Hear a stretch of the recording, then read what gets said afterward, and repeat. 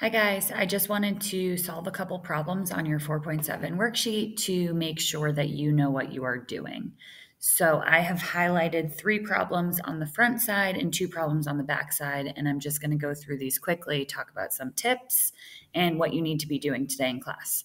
So first and foremost, I hope you took the notes. Um, in the notes, those little half circles on the axes are actually really, really helpful. Um, so I'm going to draw those up top we have looked at sine and cosine and tangent and what the values are that you can get as a result when you use inverse sine, cosine, and tangent. So for inverse sine, your angles are going to be between pi over 2 and negative pi over 2. So it's going to be on that half of the circle. For inverse cosine, the angles that you get are going to be on the top half of the circle between 0 and pi. And for inverse tangent, your angles are going to be in the same half of the circle as sine. So what I quickly want you to notice is that all three of those incorporate the first quadrant. So I wrote this on my answer key. Um, I'll write it again here because I do think it's important. If you are taking taking inverse of a positive ratio, your angle will be in the first quadrant.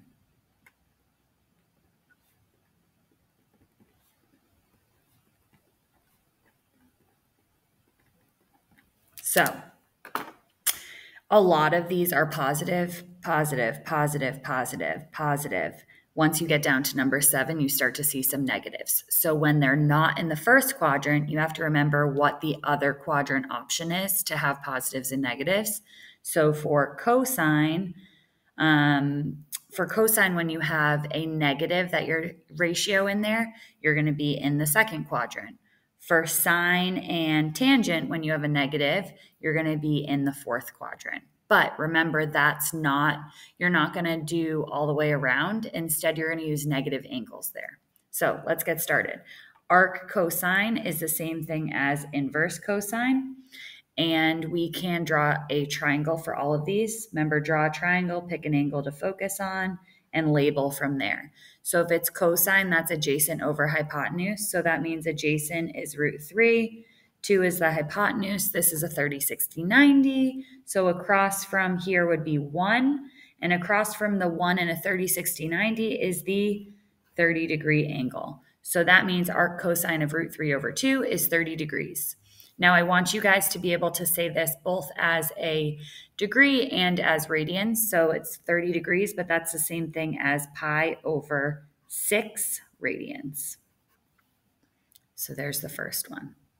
The next one is arc sine, which is the same thing as inverse sine, and now we have a negative. So if I'm looking at that, I'm going to be in the bottom quadrant. So I can still draw my triangle. And you'll notice I do the same thing on my answer key. So when you're checking, this should look familiar. Sine is opposite over hypotenuse, 1 over 2. But I know that that is going to be in the bottom quadrant. So across from the 1 here, this would be the 30 degree angle. But down here, we would call it negative 30 degrees. So that would be negative pi over 6 radians. Like I said yesterday, sine and tangent are kind of nice because when you have a negative ratio, all you're doing is sticking a negative out in front of your angle. Cosine's a little different, and we'll see that now. So inverse cosine of root 3 over 2 is actually very similar to this guy. We would draw the same triangle. Adjacent would be root 3, um, hypotenuse would be 2, and that makes that have a 1. So we know that this is the 30 degree angle, but for cosine, if we're taking the inverse cosine of a negative, it's going to be in the second quadrant. So we need to see what the 30 degree angle does in the second quadrant. Now we know that 30 degrees is the angle between the hypotenuse and the x-axis. So this is 30 degrees. So as an angle between 0 and pi, or 0 and 180, we need to look at what this angle is. So that would be 180 minus 30, which is 150 degrees. Now, as a um, angle in radian mode, that would be 5 pi over 6 radians.